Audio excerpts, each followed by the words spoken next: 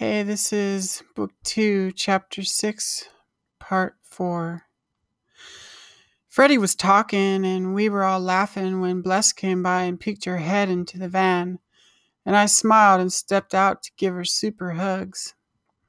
She was wearing secondhand clothes we got at the thrift store a couple weeks back a green t shirt that said in block letters, This shirt is blue and my silver streaked black tights I had been searching for since that day.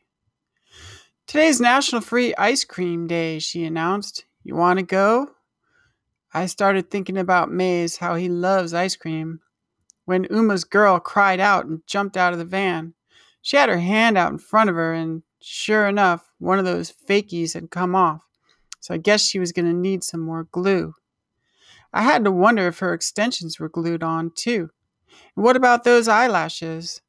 Now I really had to wonder. What about those tits? And what about that ass?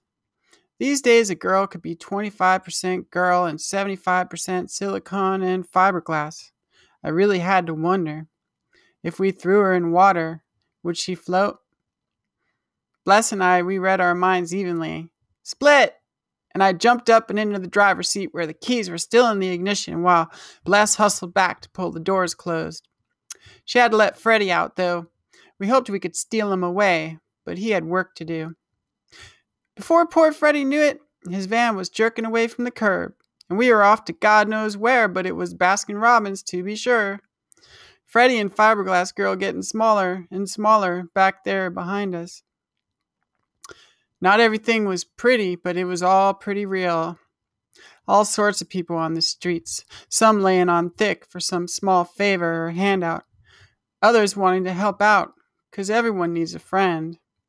Some needed a layover in the van or at Freddie's shed in East Oakland to chill for a while without having to look over their shoulder. Friends looking to collaborate, borrow tools, or maybe trade a piece of intel on the street. Watch out for certain areas were hot Humans came in all varieties. Young bloods, narcs, dudes fresh out the pen, folks out for vengeance in an open, decided fashion on the streets, junkies, snitches, fresh psychotic breaks, weeks without sleep, homeless folk undressing, cursing all the voices, drunks getting physical like they do when things didn't work out the way they wanted. There were the good ones too. I mean, the ones who were awake to the life in the streets, bringing some sanity and less than absolute self centered greed that most people seem to be running on in the world these days. Kids freestyling, creating music, folks out trying to stop the violence, artists painting murals, people out working to do something for their community. Freddie had lots of friends, deluxe and otherwise. I don't think I knew anyone on the streets who had so many friends. They came to help lend a hand or solve a problem.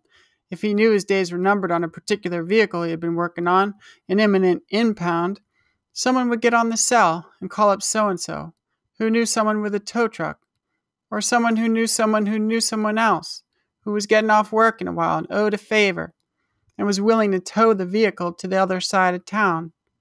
There are even folks who offer to get you away from it all maybe had a farm in Hercules or Pinole. So many days and nights on the streets, and God, you could be hurting.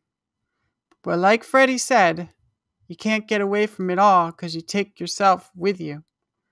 So even this kind of offer did not often interest him. Get away? Get away from what?